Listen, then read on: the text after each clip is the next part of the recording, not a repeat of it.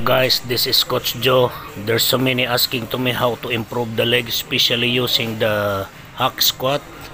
If you stand narrow, you hit your quad and you wide stand, open up, you hit your inner tight or adductor.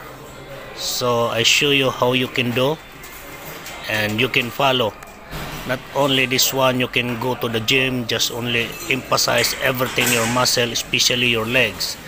Like that wide stance your legs open up to hit and develop your inner tight or adductor.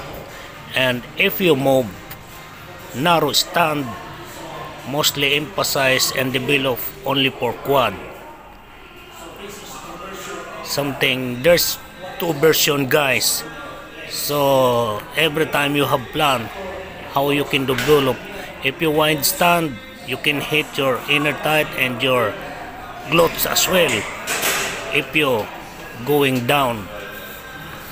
So this is a narrow stand. Emphasize your quad and development. There's two version only for training legs. Narrow and wide stand. Develop of inner and quad. And your glutes as well if you stand more development. So guys that's all. I hope you like my video and you can follow. Subscribe guys. Thank you